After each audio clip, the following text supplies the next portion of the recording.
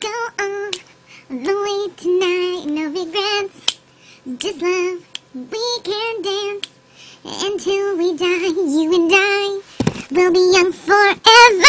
You make me feel like I'm living a teenage dream. The way you turn me on. But seriously, did you watch Glee this week? Because if you haven't, even if you don't like the show as an LGBT ally, you really need to watch it because it touched on so many issues that affect not only the LGBT community, LGBTQ community, but um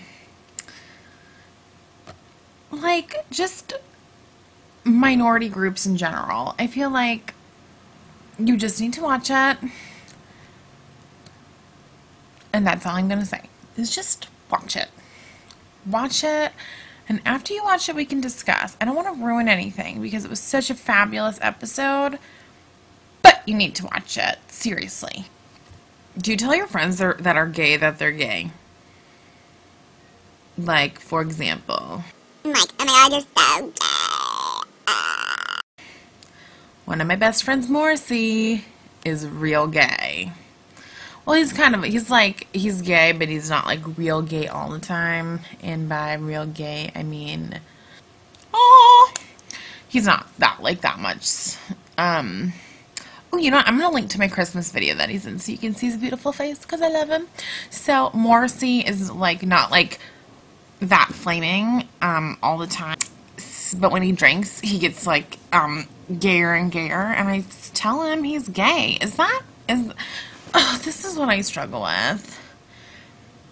I feel like it's okay for me to say he's gay, but not okay for other people to use it. And then I have to remind myself that sometimes when we're out doing things, if I say that and someone else hears it, then they're going to think it's okay. And I'm going to be perpetuating the uh, use of negative terms in my own community. So this is really a self-check video for me that I cannot do that anymore. And I just wanted to come clean and see, you know, if you if you use the word gay in a non-offensive way to your gay friends because you can use it because or if you're a straight person and you have a gay best friend, do you ever, do you guys use that and do you think it's okay? And do you think are you because all of this bullying stuff is coming out, are you finding yourself checking what you're saying and checking how you act in front of people that you don't know like, like say at a restaurant or at dinner or at the mall or at the beach or wherever you are? Do you find yourself rethinking the way you use LGBT terms and um, their appropriateness. Are you thinking about it? Because I am. Because, you know, don't want to perpetuate hate, don't want to perpetuate closed mindedness, want to perpetuate open mindedness and acceptance and zero tolerance for anything less. Um, yes. I feel like I'm so spastic. I'm going to Disneyland tomorrow with my whole family and my girlfriend and Morrissey, um, family gay friend, and my godmother and my god sisters and my aunt, my cousin. It's gonna be insane. So think that that's for me in Disneyland. It's supposed to be good weather. Fingers crossed. Anyways, I'm real pumped up, and my girlfriend hasn't been there since she was five, so she I think is gonna have an amazing time. I'm gonna go get my Mickey ears. Isn't this the most amazing thing you've ever seen? I think I'm gonna get more and give them out as Christmas presents. Eee, Mickey Mouse. The last thought of the video, because I know I'm kind of like all over the place, is I'm reading this amazing book called Things I Wish I Would Have Known Before I Got Married, something like that. Um, and it's written by this amazing anthropologist. I forget his name now, and I'm too lazy to go get um, the Kindle. But so it's this amazing book all about relationships, and I highly, highly, highly, highly recommend reading it if you are in a relationship and you've been dating for I'm gonna go with four months or longer. I would recommend um, reading it, or if you're single, you can read it too. But he has lots of other stuff that um, isn't like couple specific stuff.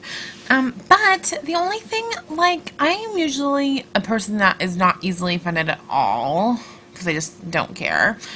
Um, and I was totally getting like a little bit upset and sensitive while reading the intro to the book that talked about for centuries and centuries societies have been made up of men and women and men and women having babies. And and for him it almost seems like i mean you can tell he really wants couples to be like live happily ever after and have really healthy loving strong relationships but he always talks about it being a man and a woman and because i'm reading this book specifically for my relationship with a woman i was like I know we didn't do it on purpose, but I was offended by it. I was like, what the hell? Two women can have awesome kids. Hello? But I just needed to complain. And I wanted to ask you, like when you read books and watch TV, do you ever get offended when you feel like you're not being represented?